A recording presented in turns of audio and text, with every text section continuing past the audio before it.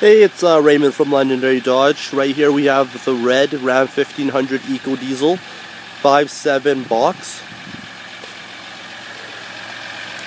Has your Eco Diesel badging, Ram 1500 badging there as well. We get the all-season tires.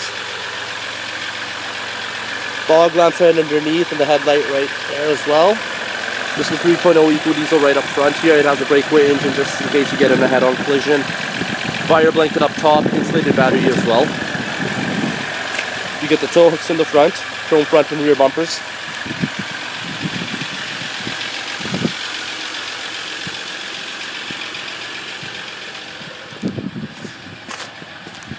Four x four SLT, class four receiver hitch as well.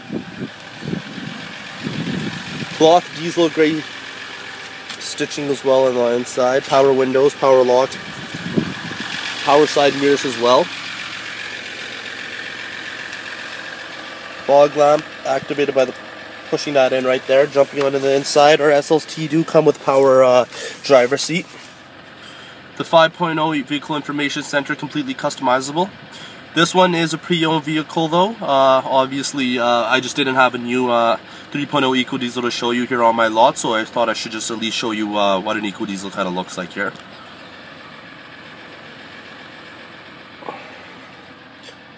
This is an 8-speed Comes with four-wheel drive auto lock, two-wheel drive, four-wheel drive low. This SLT Eco Diesel comes with your trailer brake control, traction control, tow and haul, heated passenger and driver seat, heated steering wheel as well. Comes with a 5.0 Uconnect system as well. The radio, uh, Sirius XM radio, one, one year subscription, Bluetooth, compass, all that good stuff as well. Right in the middle we get uh, a lot of storage there. This can be lifted up to uh, access our USB and auxiliary ports. Right underneath that, I do get even more storage as well. If that's not enough, you do get more storage compartments right up here and obviously your glove department. All of our SLTs come with rear sliding windows. Opens and closes to get a little bit of fresh air in here. And uh, three garage consoles right up there as well. You do have an outlet here just in case uh, you're late for work and you want to press your clothes or anything like that. Jumping on into the back here.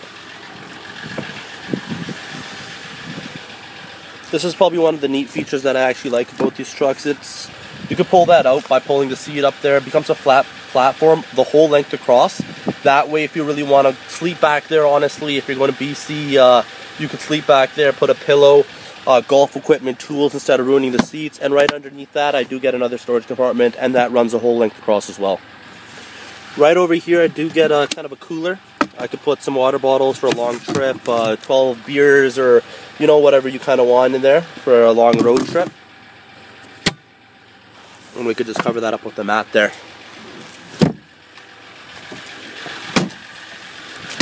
there you have it the 1500 SLT 3.0 EcoDiesel. Let me know what you think of it and uh, follow up with you as soon as I can. Have a good day. Bye.